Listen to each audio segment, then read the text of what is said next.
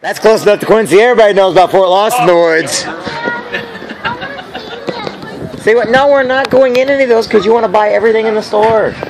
No, not right now. We will come back. I promise, though. Okay? How's that sound? Oops. Come on, Gracie. We'll come back. Don't worry. You know I always keep my word. Come on. What are you looking at? How are you doing? How you doing? Oops. Oops. Hey, Gracie. Oh, Gracie. Hey, there's a coffin in here. Oh,